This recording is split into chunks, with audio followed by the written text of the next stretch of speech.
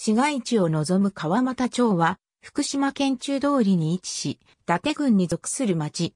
福島県伊達郡の最南東、阿武隈高地北部の丘陵地域に位置する。平安時代から始まった養蚕業、絹織物業により、絹の里として知られ、養蚕を伝え広めたとされる小手姫伝説が残る。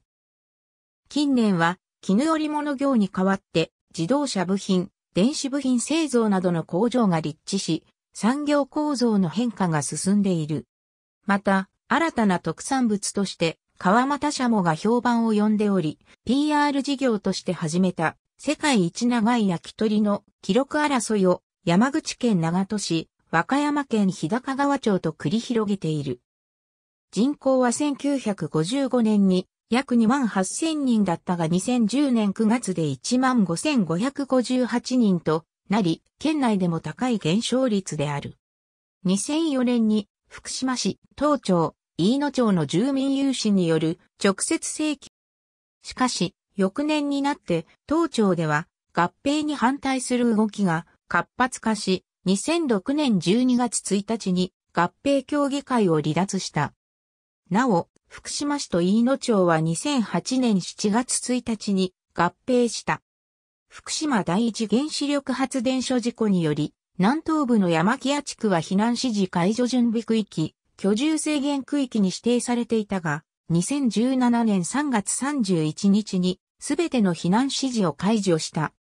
県庁所在地福島市の南東、阿武隈高地に位置し、町の最南端の檜山で、双葉郡、田村市、日本松市との境界である。町の中心部を広瀬川が流れ、東は花塚山、南に口大山、北西に女神山がある。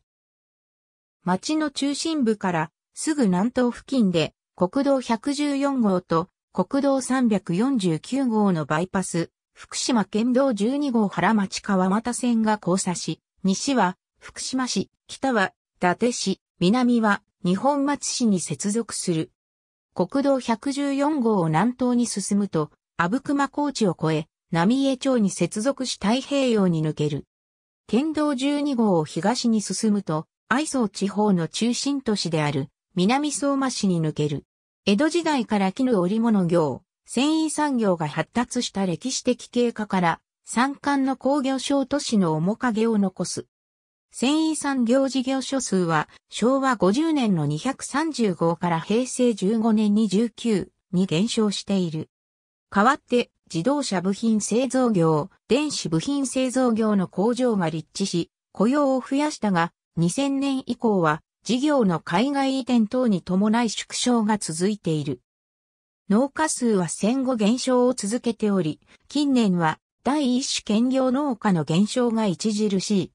阿武隈高地に位置することから、中心部を流れる広瀬川流域では、米作が行われているが、標高が高い周辺部では、旗箱、タラの芽などの畑作と酪農が中心である。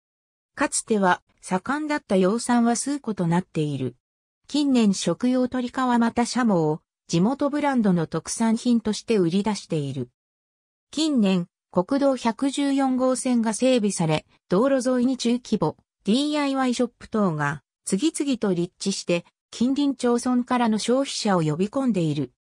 一方で、絹売物業と共に発展した戦前からの商店街は人口減少とモータリゼーションの進展に伴い衰退を続けている。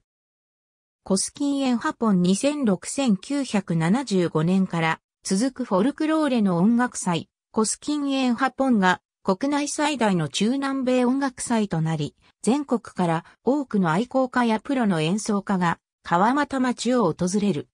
例年10月初旬に3日間開かれ、中南米の衣装を身につけたコスキンパレードも行われる。川俣町中央公園の小手姫像川俣町中央公民館。ありがとうございます。